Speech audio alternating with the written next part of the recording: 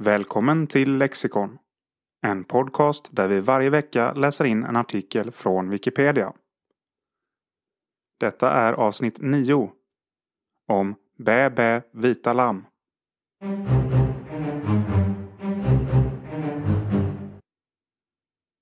Bä bä vita lamm är en barnvisa av Alice Tegnér som publicerades första gången 1892 i sångsamlingen Sjung med oss mamma. Visan bygger på den engelska barnramsan Ba Ba Black Sheep som publicerades 1744. År 1872 översatte August Strindberg ramsan till svenska med titeln Bä bä svarta lamm på uppdrag av Bonniers. Den tonsattes senare av Alice Tegnér och titeln ändrades till Bä bä vita lamm.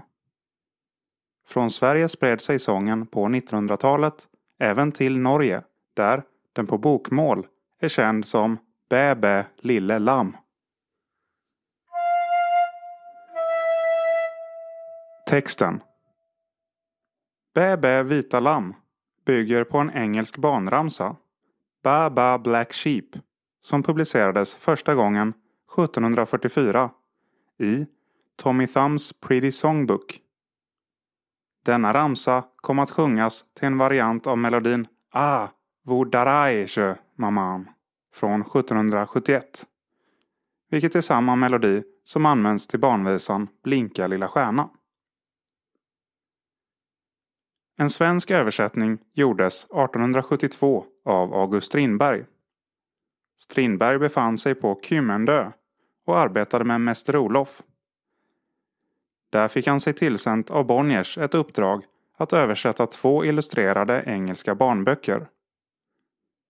Strindberg genomförde översättningen och Bonniers publicerade översättningarna i två böcker. Barnen i skogen och Daddas visor under hösten samma år. Den förra var i original The Babes in the Wood utgiven 1872 på Routledge och Sons i London.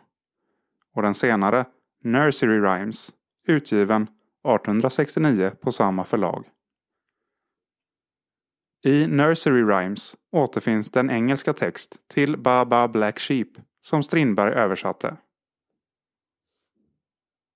Engelska förlagan Baba Black Sheep, have you any wool? Yes sir, yes sir, three bags full. One for my master, one for my dame, and one for the little boy that lives in our lane.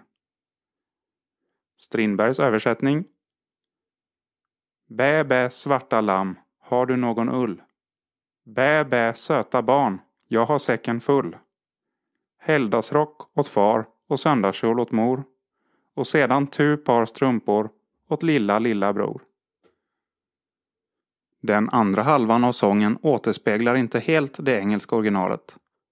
Men Göte Klingberg menar att en orsak kan vara att den bild som illustrerade originalet i Nursery Rhymes inspirerat till helgdagsrock och söndagskjol. Alice Tegnér I Karls ABC och bilderbok är fyra av Daddas visor från 1872 avtryckta. Bland annat Bä bä svarta lamm. Enligt Klingberg kan det vara detta tryck som förmedlat texten till den version som Ottilia Adelborg publicerade i utgåvan av Ängsblommor 1890. Där texten är ändrad till Bä bä vita lamm och som i sin tur sannolikt inspirerat Tegnér till en ytterligare bearbetning och tonsättning av texten. I Ängsblommor skriver Adelborg under texten Bleking vilket antyder att hon menar att texten är en folklig tradition från Blekinge. Adelborgs text Bä bä vita lamm, har du någon ull? Bä bä lilla barn, jag har säcken full. Helgdagsrock åt far, söndagskjol åt mor och tu par strumpor åt lille lille bror. Tegnérs text Bä, bä, vita lamm, har du någon ull? Ja, ja, lilla barn, jag har säcken full. Helgdagsrock åt far och söndagskjol åt mor och två par strumpor åt lille lillebror.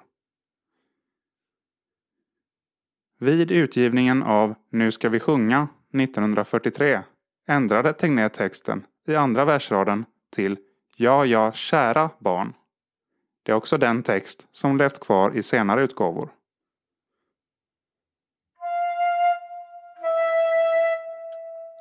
Musiken Det engelska originalet från 1744 sjöngs alltså till en variant av A vous dirige maman, det vill säga samma melodi som Blinka lilla stjärna.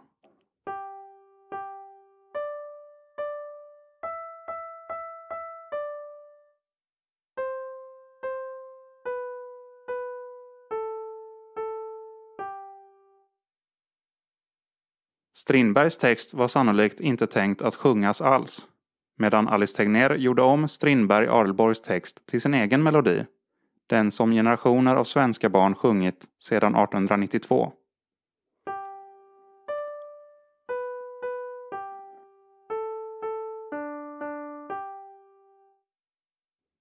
En av de tidigaste inspelningarna av Tegnérs sång gjordes på 78-varvsskiva 1926 av Margareta Stjernström på skivmärket Polyfon.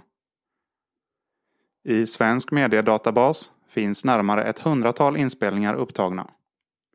Bland artister som spelat in sången märks även Yvonne Turner, Lena Järnestrand, Margret Jonsson, Alice Babs och Titti, barn från Adolf Fredriks musikskola, Barnkör Stockholms musikklasser, Barbro Hörberg, Pugh Rogefeldt, Nackabarnen, Maria Lerena, Dubbelkvartetten Frida, Arne Domnerus, Trasan och Banane, Povel Ramel, Emma Meissner, Kerstin Lindberg, Gunnar Udén, Nadja Järne, Gun och Roland Hultén med flera. Alice Tegnérs tonsättning har också spelats in på spanska av Maria Lerena som Bebe Carnerito Blanco på skivalbumet Chiquitito Mio från 1988.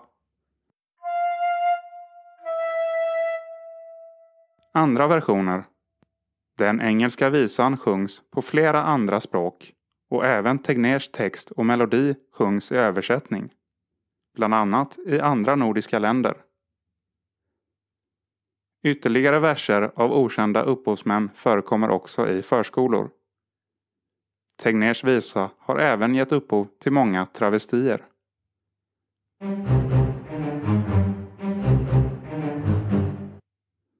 Dagens avsnitt lästes in av mig, Mattias Hallberg. Följ oss gärna på Twitter, at lexiconpod eller på facebook.com lexiconpod. Vi hörs igen nästa vecka.